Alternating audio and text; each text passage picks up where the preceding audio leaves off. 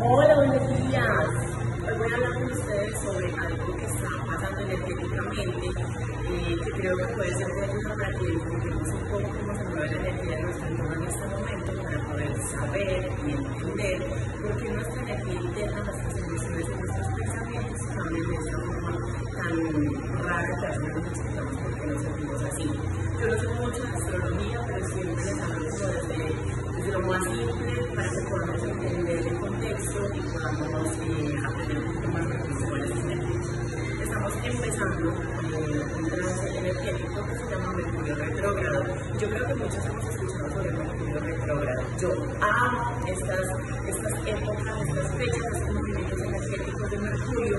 ¿Por qué? Porque es un reto personal para que tú estés presente, para que estés consciente, para que te hagas responsable de tus pensamientos, de tus emociones y no permitas que esa energía tan fuerte de Mercurio retrógrado te afecte como se supone que debe afectarnos.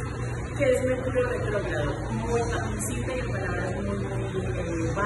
es cuando Mercurio empieza a retrogradar, o sea, a girar de retorno sobre su, eh, sobre su zona para regresar a esos planetas y cambia por completo la energía del entorno. Entonces es una energía de conflicto, es una energía de problemas, es una energía de introspección, donde todo afecta, donde tu energía es como cuando a las mujeres las dicen hormonales, así nos ponemos todos hormonales. Entonces, a mí me gusta muchísimo porque como una oportunidad para que tú consciente seas muy presente de las situaciones que estás viviendo en tu vida y qué cosas vas a permitir. Como esta es una energía de, cambio, de trance, de, conflicto, por decirlo de alguna manera, es muy, muy importante que seas muy consciente de las cosas que vas a hacer en estos días. Mercurio retrogrado se demora tres semanas en su son tres semanas de cambios energéticos. Así que te invito a que muchísima atención a las cosas que piensas, a las cosas que sientes, pero sobre todo a las cosas que dices, los proyectos que emprendes, eh, cómo te estás sintiendo por dentro, estás volviendo a ver todo lo negativo en ti, estás volviendo a ver todas tus limitantes, tus miedos están saliendo a flote. Entonces vas a permitir que esas energías, que esos movimientos, que esos pensamientos empiecen a afectar tu día a día y a cambiar tu forma de vibrar.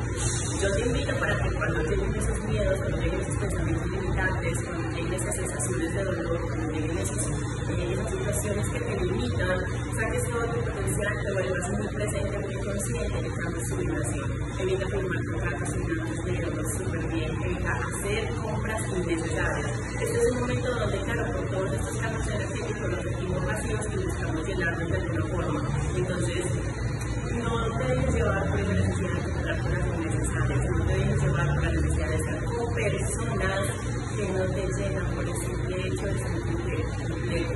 Aprende a buscar ese complemento dentro de ti, aprende a esa unidad dentro de ti y aprende a vibrar la energía de Mercurio retrógrado. Aprende a vibrar esas energías de cambio, esas energías de retos que te pone el universo para que tú vuelvas a tu interior y saques tu máximo potencial. Así que aprovechen estas tres semanitas de eh, estar muy hormonales, de estar muy sensibles, de estar eh, tirando como a mímeme, consiéntame, no soy nada, no valgo para nada y aprenda a decir sí valgo, sí soy, yo puedo y esto que quiero lo voy a lograr. Y mando un abrazo enorme, que tengan súper bonito domingo y vibren alto, vibren bonito, o sea, luz para ustedes, pero luz para todos los demás. Ya saben que el universo no te da